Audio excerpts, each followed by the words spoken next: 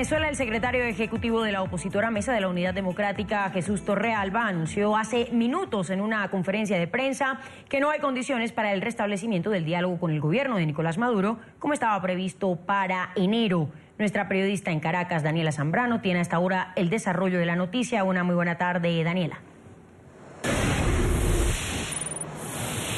Laura, 1 y 24 minutos de la tarde en Caracas. Lo ha dicho el secretario ejecutivo de la Mesa de la Unidad Democrática, Jesús Torrealba, ratifica que la oposición no va a acudir a ese encuentro previsto para el próximo 13 de enero hasta tanto no estén dadas las condiciones. Las condiciones es que se cumplan los acuerdos que ya, de los que ya se habían hablado en las reuniones anteriores y que incluso eran condiciones para que la oposición acudiera a sentarse en esa primera mesa de diálogo. ¿Cuáles son? Que se facilite el ingreso de las medicinas y los alimentos al país, la liberación de los considerados presos políticos, el respeto a la Asamblea Nacional y el acuerdo de un cronograma electoral. Escuchamos parte de las declaraciones que ofrecía hace algunos minutos Jesús Torrealba obviamente, si estas demandas que eran perentorias de cara al 6 de diciembre no han sido satisfechas para el 13 de enero, obviamente no habrá condiciones para el restablecimiento del diálogo directo entre las partes. Insisto, un planteamiento que alguna vez he compartido con ustedes.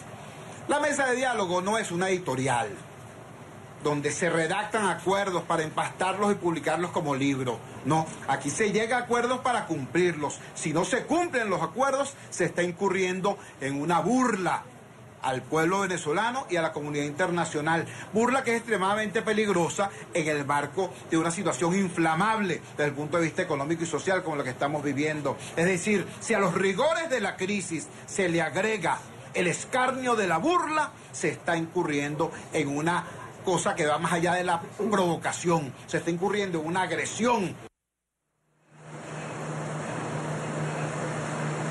Jesús Torrealba también agradeció al Papa Francisco hacer referencia al caso venezolano en la misa de este domingo y dijo que era una demostración de lo cerca que sigue el Vaticano la situación que se vive en el país. De hecho, la Mesa de la Unidad Democrática envió este fin de semana una carta a Monseñor Pietro Parolín recibieron el acuse casi inmediatamente, según lo que explicaba Jesús Torrealba, y en esa carta precisamente le hacían este planteamiento, que estaban de acuerdo con la carta que previamente había sido enviada desde el Vaticano al gobierno de Nicolás Maduro, exhortando a que se cumplieran los acuerdos y ratificando la postura de que simplemente no acudirían a esta mesa de diálogo hasta tanto no estén dadas las condiciones. Ha ratificado además Jesús Torrealba que el 5 de enero se va a instalar la Asamblea Nacional, el nuevo periodo legislativo, pese a las amenazas que ha habido desde el gobierno gobierno de que no se va a poder llevar a cabo porque a juicio del gobierno la Asamblea Nacional se mantiene en desacato. Es mi aporte desde Caracas a esta hora. Volvemos contigo, Laura.